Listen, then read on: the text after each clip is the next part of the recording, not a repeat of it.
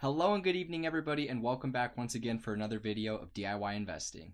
This last week I've spent a lot of time with one of my best friends, Dalin Anderson at High Altitude Investing, and he brought up a lot of really good points that I wanted to touch up on. In today's video, I'm going to be sharing with you guys some updated Bitcoin technical analysis, and then we're going to be diving into a pattern that has played out every single bull market and every bear market. On top of this, we're going to be diving in and I'm going to be applying it to XRP and how the market cycle works on a time frame perspective, which is setting up for a guaranteed bull run over the next couple months. After that, we're going to be taking a look at Ethereum and I'm going to be showing with you guys a big picture trend that is following almost identically to Bitcoin. If this trend continues, it shows that within the next couple months, all of these altcoins are going to be popping off across the board and it's setting up for a lot of profitable gains to be had. If you're new and just finding this channel, make sure you hit that subscribe subscribe button and hit the notification bell so you don't miss any more updates like the one in this video. If you're looking for signals or you want to follow a community that you can trust, make sure you join my Discord server. Currently, we've got over 400 members and working on our 500th member goal. It won't be long before we get there. And after we build this up to a certain extent, I'm actually going to be stopping invitations because it will be too big. So make sure you guys get in there, click on the invitation link in the description, and there you're going to get full access to my Discord server. With all that being said, let's jump right in the video today.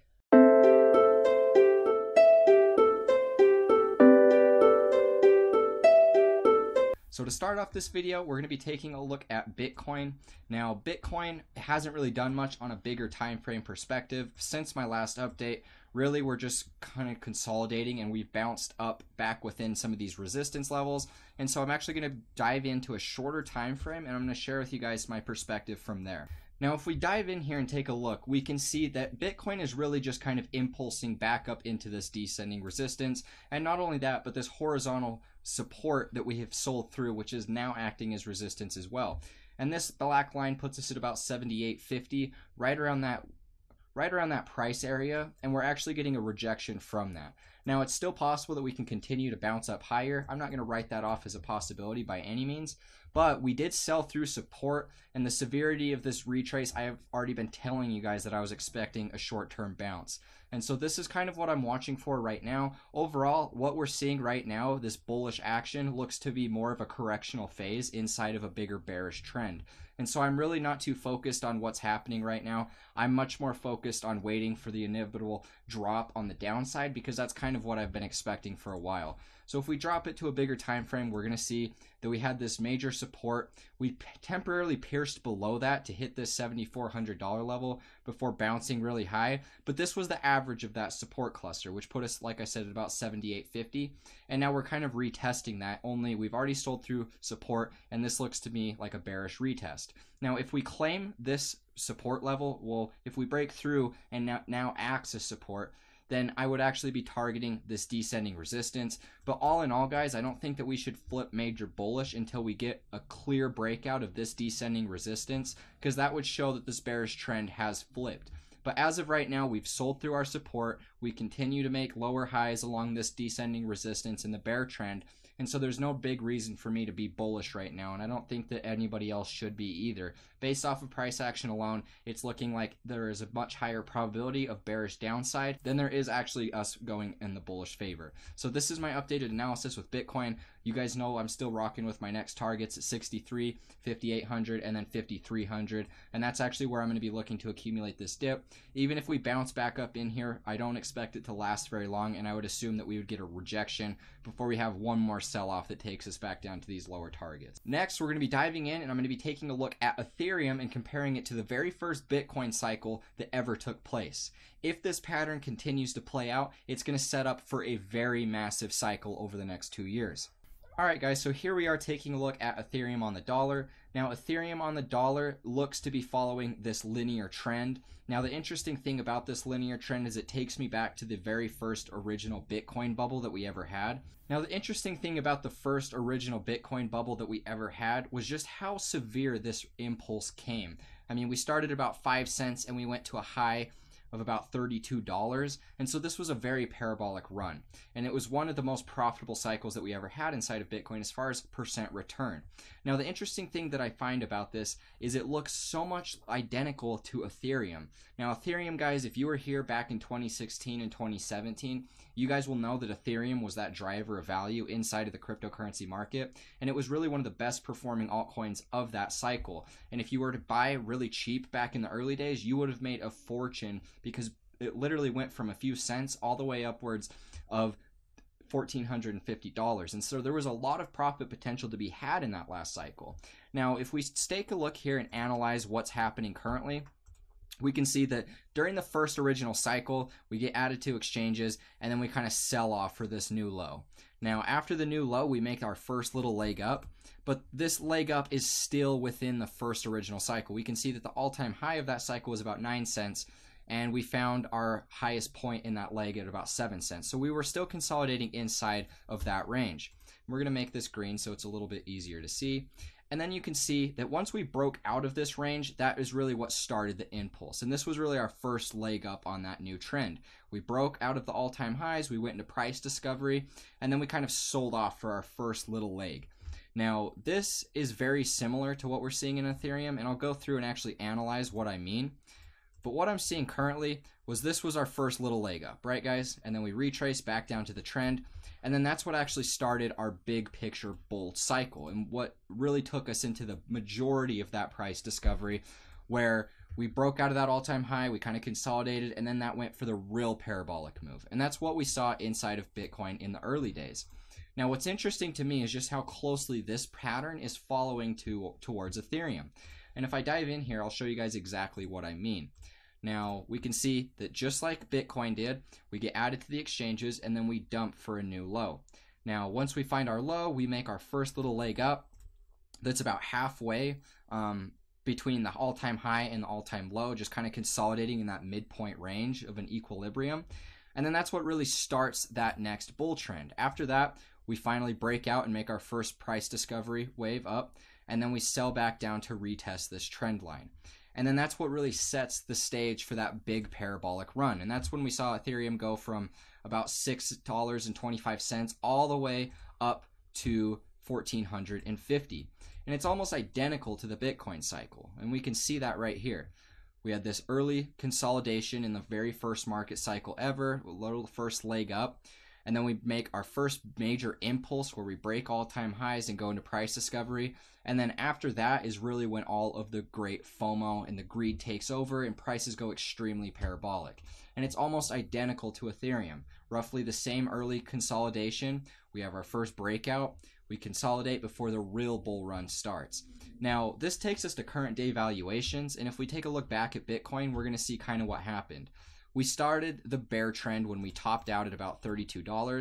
So it would have been right here. And that's what started our bearish retrace back down, right? Now, what's interesting to me is there's a couple similarities here.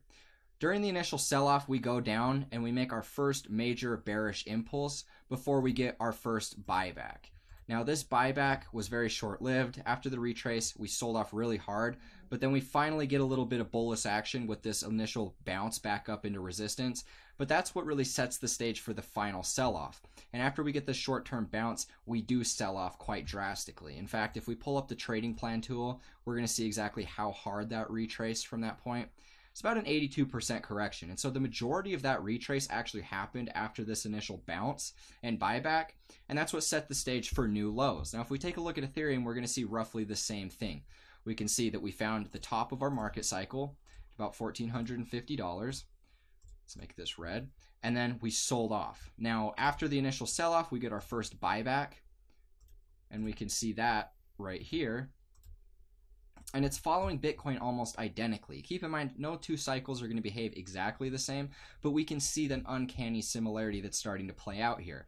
Now, after this, we end up going out for our last sell off, and this is really what takes us back down to this linear trend. Now, this linear trend is not meant to be 100% exact. It's meant to just kind of map out the similarities between the two cycles. And we can see that the majority of this retrace actually happened after we sold off from resistance. In fact, we sold off about 80, almost 90% from the top of the buyback all the way back down to that lowest level that we hit. And it's roughly the same as what we saw inside of Bitcoin. Bitcoin was about an 82% drop from that point, and Ethereum even sold off harder at about 89%. But this is actually what takes us into our next stage. Now, by taking a look at Bitcoin, we can see once we hit the bottom of this bear market at about 82% drop from this green buyback box, we made our first impulse. And that was really our first leg up, but when we started to experience real accumulation taking place. And we can see that based off of Fibonacci, it continues to follow Ethereum almost to a T. And we can see that right here. We can see that we sold off and our bounce out of early capitulation took us right below this 236 Fibonacci level. Now let's go see how that lines up with Ethereum. Let's pull up the Fibonacci real quick. From the all-time high down to the lows, we can see that when we did bottom, in capitulation, we bounced up just under this 236, almost identical to what happened to Bitcoin, just right below that 236 level. And now we're really just kind of selling off from that. The current consolidation doesn't quite look as good and as rounded out as what we saw in early day Bitcoin, but there's still a lot of price action to actually have happen and a lot more of accumulation to actually take place before we truly know. But by looking at this, guys, we can see an uncanny similarity between the early day Bitcoin cycle, really the first bubble that we'd ever experienced, as well as Ethereum. They're almost following the exact same trend, and it makes total sense because all of these cryptocurrencies follow Bitcoin and they derive all of their value from Bitcoin. And so the most bullish, the most parabolic of these altcoins are going to continue to follow Bitcoin the closest. And I've told you guys in the past that one of my biggest reasons for investing so much into Ethereum was the simple fact that if you ever take a look at the alt uh, the altcoin total market cap, the entire altcoin total market cap follows more closely to the Ethereum chart than any other altcoin. And so that tells me that there's more money going into Ethereum than most any of these other altcoins, which is why it's number two in total market cap. Now, what's to come next? By taking a look at this, we can see that what happened shortly after was the most parabolic Bitcoin cycle as far as just going straight up. I mean, you could make the case that this one was more parabolic and you would have made a bigger percent return, but this is a more natural parabolic swing where we do get these couple leg ups and we have a much more established trend, whereas this one's kind of just going straight up. This one actually does grind up and accumulate on this slow moving trend before we do get that massive breakout, and that sends us into new price discovery. And so by looking at this, guys, I think that Ethereum is headed for one of the most parabolic cycles that we've mm-hmm. seen up to this point. And it's a really good opportunity to be capitalizing in on that, considering the fact that Ethereum is currently worth about $155. I don't think you can go wrong buying Ethereum at these low levels because at its peak it was valued at over $1,400. And so I do expect this to continue on into a new cycle. I don't see why it wouldn't. If Ethereum doesn't continue into a cycle, I'm honestly not going to be very confident on the rest of the altcoin market as well. But you guys know I'm a big picture bull. I'm still very bullish on what's happening with the current price action and I'm going to continue to invest and uh, incorporate more assets into my trading plan as follows. But this was just a simple strategy and pattern that I wanted to share with you guys. I've talked briefly about how this cycle looks a lot like the early day Bitcoin cycle, but I wanted to go into even more analysis and detail with you so that you know exactly why because there's so many different reasons for me to share with you why I think the certain things that I do. And so that's why I make these videos is to just get all of my thoughts out there so that the average person that maybe doesn't know a whole lot about technical analysis can just uh, really just take this all in and help it for their own trading plan. And so this was the pattern that I had to share with you guys between Bitcoin, between Ethereum and the early cycle. I think that we're setting up for a very parabolic run. And who knows, guys, maybe we could see something along the lines of this. Let me get this. Where is it? Right here. Maybe we could see something like this where we kind of round out on this trend. Then we go for our next leg up, kind of do the same thing and that's what really sets the stage for the new bull cycle. Now, my guess is it's not going to take as long as I have drawn here. I think that we'll have about a one year bull cycle, and I'm actually going to dive into a chart with XRP and ex- explain exactly why I believe it's only going to be a year's time frame. But with that being said, I think we could see something very similar inside of Ethereum. I would love to see a longer bull market, but I don't necessarily know if that's going to happen just based off of how parabolic these things move. But it would be ideal to see that. Maybe the first couple years we see this long uh, uptrend on this linear scale before we finally experience our blow off top, but I don't know exactly how it's going to happen. I'm just kind of mapping you guys out with my thoughts. Now let's actually dive into the most important part of this video and take a look at my XRP analysis because I have updated my chart and I wanted to share with you guys exactly why I'm so excited about this comparison. All right guys, here we are taking a look at my XRP analysis. Now, not much has really changed overall with my analysis. The still overall just the same exact chart. We're just still retracing, waiting to find that bottom before we go into that price discovery. But you guys can tell that there's a difference between these black lines. And I'm actually going to dive in and share with you guys why these black lines are so important. Now, what I've noticed, and this was actually pointed out to me by my best friend Dalin Anderson at High Altitude Investing, make sure you go give him a follow. I'll leave a link in the description of this video so that you can find his channel. But he's one of my best friends. We've been trading together since 2016, and he's really that person that taught me a lot about investing. And I wouldn't have been inside of Bitcoin and cryptocurrency if it wasn't for him. And so Today, I'm going to be diving in and showing you guys a comparison that he's been pointing out to me and we've been talking about for about the last week now. Now, these black lines, as you can see, they're all dated the 1st of January, and I want to show you guys why that's important. Well, what I've noticed is that at the very end of a cycle, whether it's the top of a bull cycle or whether it's the bottom of a bear cycle, it usually always comes around the new year or the turn of the new year. We can see that we had this parabolic run happen. It was really the first cycle that we saw inside of XRP that is important based off of technical analysis. And we have our first impulse, and then almost the exact top of that happened right about the new year. So we were at 2014, 2015 rolls around, and then we start our bear cycle. Now, this bear cycle lasts about two years, right?